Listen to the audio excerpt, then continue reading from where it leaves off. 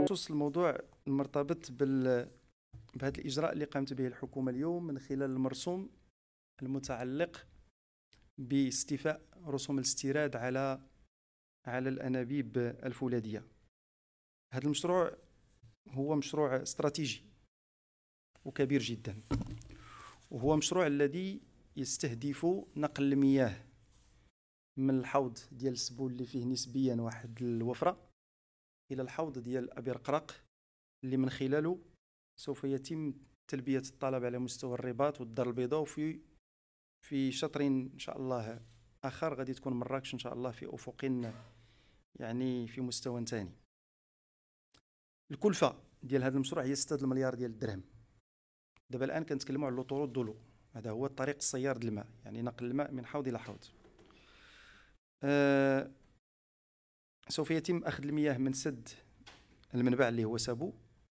مشروع فيه مضختين اثنتين 66.5 كيلومتر من الأنابيب فولاذيه بالقطر ديال 3200 ملم الصبيب هو حوالي 15 متر في الثانية. تقدم الأشغال.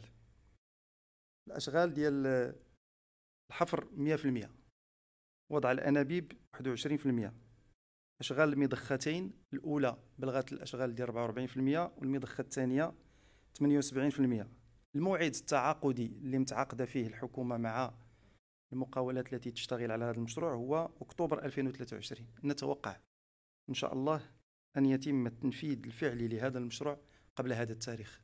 لذلك الحكومة اتخذت هذا الإجراء اليوم باش العملية ديال الاستيراد ديال هذه الأنابيب التي لا ننتجها للأسف محليا. ما تعرفش واحد واحد التوقف. فالحاله التي يسير عليها تقدم هذا المشروع هي جد مرضية وسوف نكون إن شاء الله في الموعد المحدد.